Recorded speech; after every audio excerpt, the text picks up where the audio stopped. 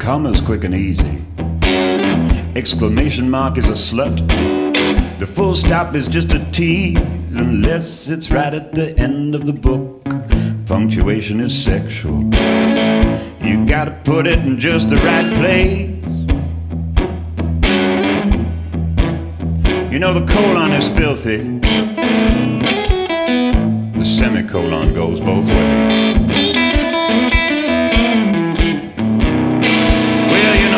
Points can protect you from your lesbian stolen.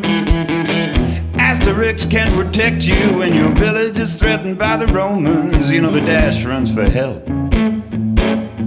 Using the backslash as a slide. Some brackets are square, others are hip to the times.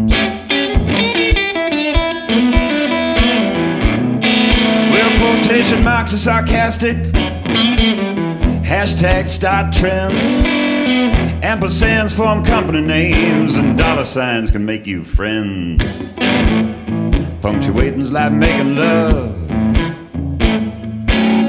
You gotta know when to put it in.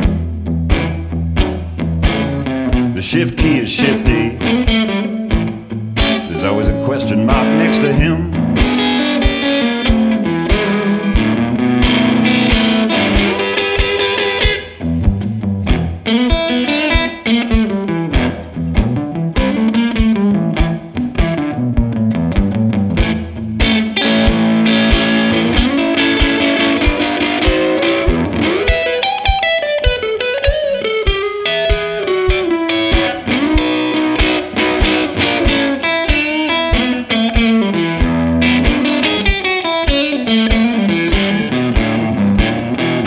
Telling me, Luke, you're gonna love it, but you're spelling it Y O U R. Please go back and put a little dash right up between the letter U and the letter R, and then add an E.